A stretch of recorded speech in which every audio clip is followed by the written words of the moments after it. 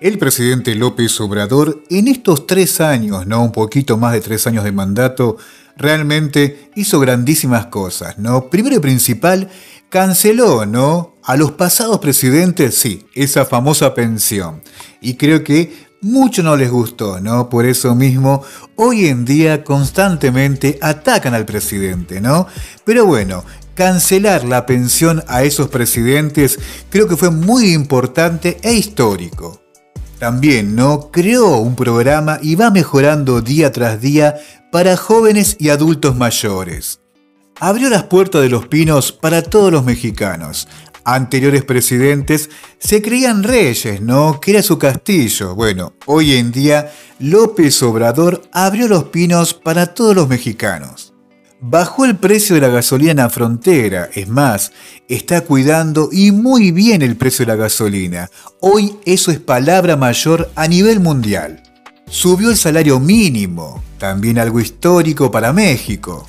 También reactivó ¿no? seis refinerías totalmente olvidadas, compró una refinería llamada Deer Park en Texas, la nueva refinería Olmeca en Dos Bocas, Tabasco, realmente un orgullo. Tren Maya, Aeropuerto Internacional Felipe Ángeles, Sembrando Vida, carreteras en Oaxaca, haciendo lo imposible para que los migrantes de una vez por todas sean respetados y escuchados, manteniendo el dólar a menos de 20 pesos, recuperando varios proyectos también, abandonados por otros gobiernos. Bueno, López Obrador los está recuperando. Grandes cosas, ¿no? De López Obrador, que si tengo que decir cada una de las cosas que hace el presidente no terminó más, pero hablemos de una muy importante que no se está hablando mucho últimamente y es bastante importante. El corredor interoceánico Istmo de Tehuantepec va a transformar la economía de la región y del país. Las empresas que decidan ubicarse en los 10 parques industriales que ya se construyen serán acreedores de subsidios fiscales. Y escuchen esto, por eso mismo digo siempre, ¿no? Que López Obrador quiere ayudar 100% a los migrantes. Con este plan se busca promover la creación de cortinas de desarrollo para ofrecer opciones de trabajo a los migrantes en su paso hacia Estados Unidos. El corredor transísmico unirá el Pacífico con el Atlántico a través de un puente ferroviario de 310 kilómetros que va a reducir 10 días de viaje, sí, 10 días de viaje de buques que hoy utilizan el canal de Panamá. ¿Escucharon bien eso? El corredor transísmico unirá el Pacífico con el Atlántico a través de un puente ferroviario de 310 kilómetros que va a reducir en 10 días el viaje de buques que hoy utilizan el canal de Panamá. Los del canal de Panamá no estarán muy contentos, ¿no? Pero obviamente los mexicanos orgullosos y felices, ¿no? De este gran proyecto.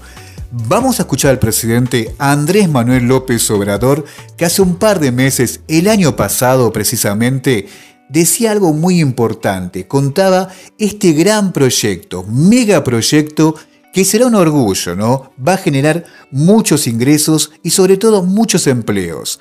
Vamos a escuchar al presidente de México que decía esto. Regresando, el segundo programa es Palenque, Coatzacoalcos. Este es el del Istmo, Salina Cruz. Aquí son 300 kilómetros. Y aquí lo que queremos es que se convierta en un canal de Panamá por tierra para unir al Pacífico con el Atlántico, sobre todo con la costa este de Estados Unidos. Esto tiene ventajas con relación al canal de Panamá.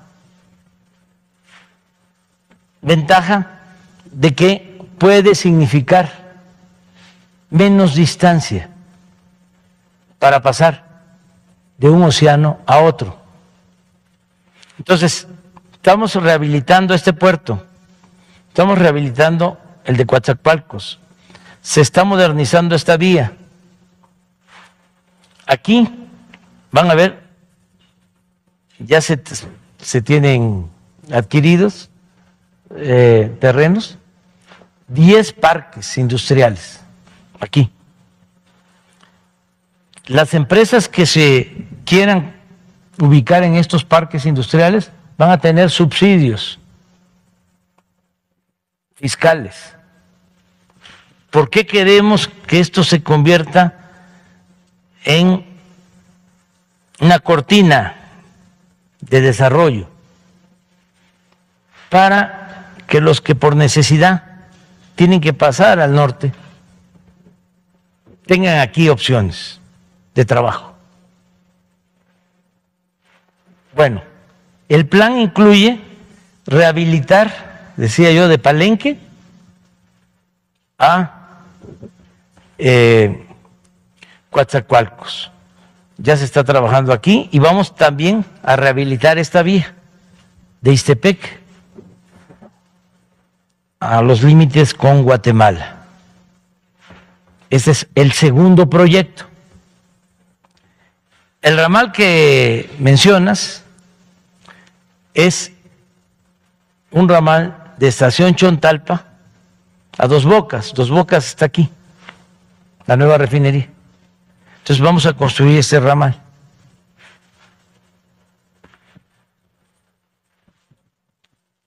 Este proyecto va avanzado, lo tenemos que terminar también en el 23, aquí en el puerto, para que puedan eh, llegar barcos grandes con miles de contenedores.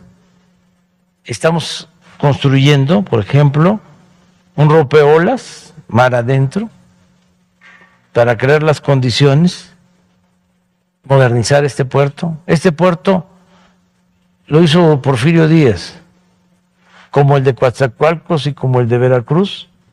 Los hizo con un empresario inglés, Pearson, que era su contratista favorito. Y este, en ese entonces no tuvo mucho éxito porque Asia no tenía el desarrollo que tiene actualmente.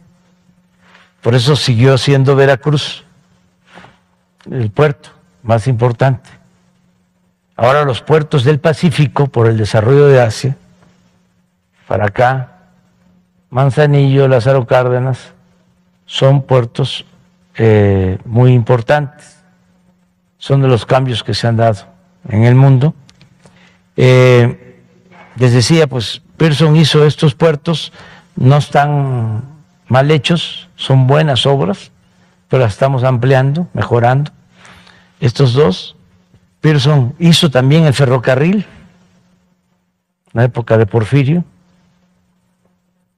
Entonces, ¿por qué el desarrollo de esta región también? Porque esta era la región olvidada, les decía yo que ni para robar les importaba. Por eso dejaron sin privatizar las vías del ferrocarril. No les interesaba. Y resulta que aquí hay mucha pobreza, muchas necesidades y ahora hay inversión pública federal. Esto no significa que se va a dejar de atender el centro o el norte, lo estamos haciendo, pero es equilibrar este, atender el sur-sureste. Además hay una cosa que debe saberse. De aquí, de aquí salió durante décadas una cantidad suficiente del presupuesto público para desarrollar a todo el país. Porque aquí se produce el 95% del petróleo de México, se extrae el petróleo. Y hubieron años, todavía con Fox, que el 45% del presupuesto nacional se integraba con ingresos petroleros. Entonces, le ha dado mucho al sureste, al resto del país. yo creo que ya es el tiempo de que se le eh, recompense, sobre todo atendiendo el desarrollo económico y social. Ahí escuchamos al presidente Andrés Manuel López Obrador contar un poco de este gran proyecto, esta grandísima estructura intercontinental que realmente México deja paralizado a Panamá, ¿no? callado, sorprendido. Porque Panamá ya no será el único país de América Latina en ofrecer un servicio de cruce de mercancía de un océano a otro. Este gran proyecto, megaproyecto, realmente traerá grandes beneficios a México. Otro logro monumental de la cuarta transformación. El presidente López Obrador demostrando día a día que con trabajo y mucho amor a la patria se pueden lograr grandísimas cosas. Y como les dije al principio, si tenemos que hacer un video de los grandes logros de López Obrador, realmente tendríamos que hacer un video cerca de tres horas, ¿no? Porque, y me quedo corto, el trabajo de López Obrador, un ejemplo, un orgullo para México y el mundo. Abrazo gente, dejen su like, compartan, que ayuda un montón. Abrazo gente, se los quiere. ¡Viva México! ¡Viva México! ¡Viva México!